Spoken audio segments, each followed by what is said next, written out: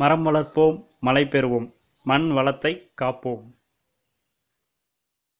அண்ணே நீங்க பெரிய ஆளுண்ணே. உனக்கு தெரியுது? நம்ம ஊர் ஜனங்களுக்கு தெரியலையே. Hi friends welcome to next three sixty நான் மாதவன் பேசுகிறேன் இன்னைக்கு நம்ம எல்லாருக்கும் யூஸ்ஃபுல்லாக இருக்கக்கூடிய ஒரு ஆசனத்தை பற்றி தான் நம்ம பார்க்க போகிறோம் என்ன ஆசனா அப்படின்னா இந்த ஆசனாவோட பேர் வந்து புஜபாத பீடாசனா அப்படின்னு சொல்லுவோம். இதில் இருக்க புஜம் அப்படின்றது எதை மீன் பண்ணும் அப்படின்னா உங்களுடைய உடல். இந்த ஷோல்டர்லேருந்து இந்த இடுப்பு பகுதி வரைக்கும் இருக்கக்கூடிய இந்த உடலை யூஸ் பண்ணி பண்ணக்கூடியதான் வந்து இந்த புஜபாத பீடாசனா. இதில் இந்த இமேஜில் இருக்க மாதிரி நீங்கள் பாதங்களை கீழே ஊன்றி ஷோல்டரையும் கீழே ஊன்றி முழு உடலையும் மேல் நகர்த்தி நீங்கள் பண்ணக்கூடிய ஒரு ஆசனா தான். இது வந்து குறிப்பாக இடுப்பெலும்பு தேய்மானம் உள்ளவர்களுக்கும் முதுகெலும்பு தேய்மானம் உள்ளவர்களுக்கும் பயன்படக்கூடிய ஒரு சிறந்த ஆசனா. இது வந்து ஒரு இன்டர்மீடியட் ஆசனா அப்படின்னு சொல்லுவோம். அதாவது ரொம்ப பேசிக்கும் இல்லாமல் ஒரு அட்வான்ஸ் லெவலும் இல்லாமல் இன்டர்மீடியட் ஆசனா தான் வந்து இந்த புஜபாத பீடாசனா இது யார் யாருக்கெல்லாம் யூஸ்ஃபுல்லாக இருக்கும் அப்படின்னு பார்த்தீங்கன்னா அதிக நேரம் உட்காந்து வேலை பார்க்கக்கூடியவங்க.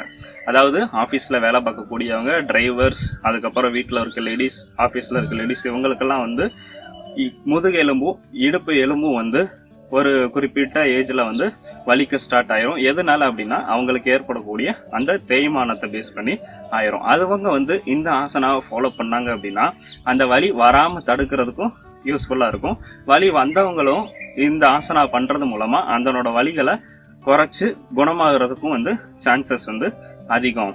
குறிப்பாக லேடிஸ் வந்து. லேடிஸ் வந்து பிரசவத்துக்கு முன்னாடி சரி பிரசவத்துக்கு அப்புறமும் சரி இந்த ஆசனா பண்ணிட்டே வந்தாங்க அப்படின்னா அவங்களுக்கு வரக்கூடிய அந்த எலும்பு ப்ராப்ளம் வந்து இல்லாமல் க்யூர் பண்ணுறதுக்கு இது வந்து ஒரு சிறந்த ஆசனாவாக இருக்கும்.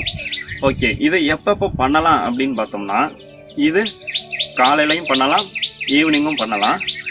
வெறும் வயிற்றில் தான் கண்டிப்பாக நீங்கள் பண்ணணும்.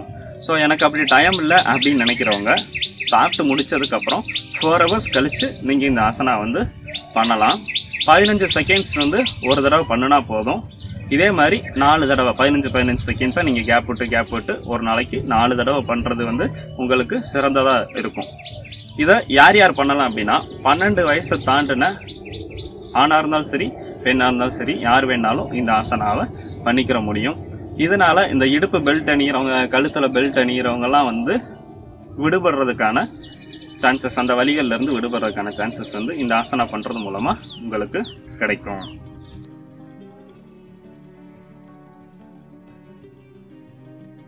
முதல்ல உங்களுடைய உடல் முழுவதும் தரையில் ஃப்ளாட்டாக இருக்கிற மாதிரி பொசிஷனில் வச்சுக்கோங்க. அதுக்கப்புறம் உங்களுடைய இடது கால் மற்றும் வலது கால் பாதங்களை தரையில் ஊன்றி கால் வந்து செங்குத்தாக இருக்கும்படியான நிலையில் இருக்கணும். அப்புறம் இரு கைகளையும் யூஸ் பண்ணி உங்களுடைய கணுக்கால் பகுதியை வந்து ஹோல்டு பண்ணிவிட்டு உங்களுடைய இடுப்பு பகுதியை மேல் நோக்கி நகர்த்தணும் மெதுவாக இப்படி மேல் நோக்கி நகர்த்தும் போது நீங்கள் மூச்சை உள்ளிழுத்துக்கிட்டு உடம்பை வந்து மேல் நோக்கி நகர்த்தணும். அப்படி நகர்த்தினுடைய முடிவில் இந்த மாதிரி பொசிஷன் உங்களுடைய உடல் வந்து ஒரு ஆறுக்கு மாதிரியான ஷேப்பில் வந்து நிற்கும் இதுதான் வந்து கரெக்ட் பொசிஷன் இப்போ வந்து உங்களுடைய பாதம் ஷோல்டர் ஹெட்டு இது மூணு வந்து தரையில் சப்போர்ட் பண்ணியிருக்கும். மிச்ச உடல் முழுவதும் மேல் நோக்கி இருக்கும். இப்போ நீங்கள் உங்களுடைய இயல்பான மூச்சில் வந்து நீங்கள் சுவாசிக்க ஆரம்பிக்கலாம். இந்த நிலையை நீங்கள் ஒரு பதினஞ்சு செகண்ட்ஸ் வந்து ஆரம்பத்தில் பண்ணுனா போதும். இந்த பதினஞ்சு செகண்டும் நீங்கள் நார்மலான மூச்சை வந்து உள்ளே வெளியில் வந்து நீங்கள் விட்டுக்கிற முடியும். இப்போது உங்களுடைய கழுத்து அழுத்துற மாதிரி தெரிஞ்சிச்சு அப்படின்னா அந்த பதினஞ்சு செகண்ட்ஸை வந்து நீங்கள் கம்மி பண்ணிக்க முடியும். இதே மாதிரி நீங்கள் நாலு செட்டிங் பண்ணலாம். இந்த ஆசனா பண்ணுறதுக்கு ரெண்டு நிமிஷம் போதுமானது. அதாவது நாலு தடவை பண்ணலான்னா பதினஞ்சு பதினஞ்சு செகண்டாக பார்த்தோம்னா நாலு தடவை பண்ணுறதுக்கு ஒரு நிமிஷம் போதுமானது. நீங்கள் ரிலாக்ஸேஷன் அண்ட் ப்ரிப்பரேஷனுக்கு ஒரு நிமிஷம் எடுத்துக்கோங்க. ஸோ முடிச்சுட்டு ரிலாக்ஸாக உங்களோட இடுப்பு பகுதியை வந்து கீழே பட் பண்ணிவிட்டு ஆசனாவை முடிச்சுக்கலாம். நன்றி.